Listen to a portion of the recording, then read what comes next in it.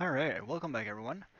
So today I will show you how to install your XP wallet on macOS. I'm currently running macOS 10.13 but it should work with whichever OS you're running with. Alright, so I'll be doing everything from the terminal today since as a Mac user you should be able, you should know how to use a terminal. Um, so I will show you a few things at the same time. Um, if you didn't know anything about terminal. Alright, so let's start by opening the terminal right here.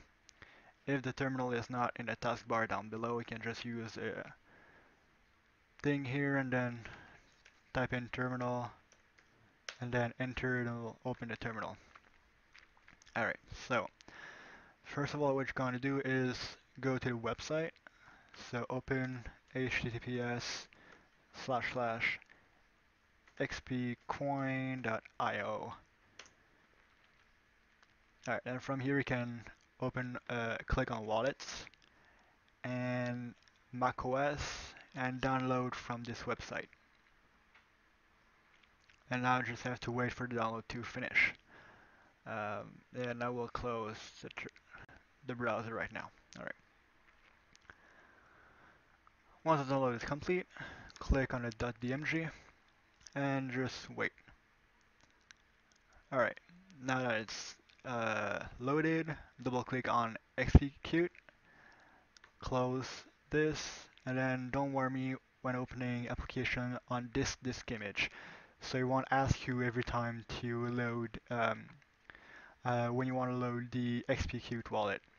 Alright, now do open and just wait for it to open.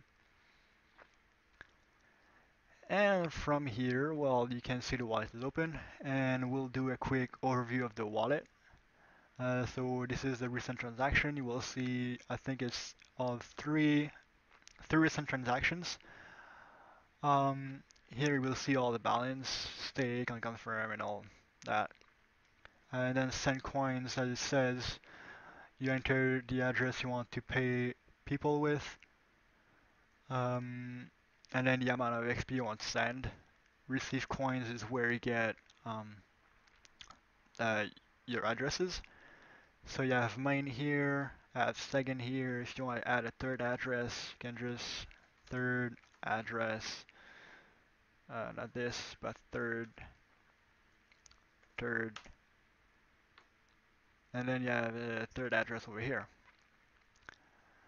In transaction, you will see all the transactions that have happened on your wallet. And you can also do a check by address or by label. So if you type main, you will see all the transaction made from main.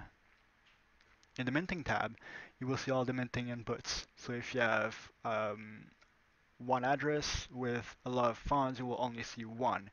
And then once you stake, you should be able to see two inputs because how it works with XP is it will split uh, the balance into two inputs and then the two inputs when one of them stakes it will split the second one of the two inputs into two.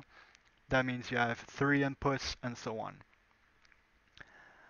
And then you have your address book here uh, you can add address, uh, new addresses and labels. So if you have, um, I don't know, Cryptopia, Cryptopia, well, you can just enter address on Cryptopia. Right now we're not listed on Cryptopia, but we're trying to. So we'll hope when the 700,000 DOT missing will are filled that we're gonna be on Cryptopia soon. Uh, and that's pretty much it for the wallet overview. Um, as you can see here, there's the synchronization tab. Um, I will show you how to sync it um, to approximately 97% in the next video. And here you can see the number of nodes active. And uh, yeah, this is pretty much what you can see on the synchronization tab right here. And that's pretty much it for today's video and I will be back tomorrow on how to synchronize your wallet.